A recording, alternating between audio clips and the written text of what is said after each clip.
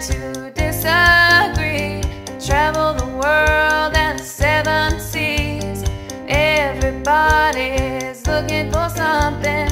Some of them want to use.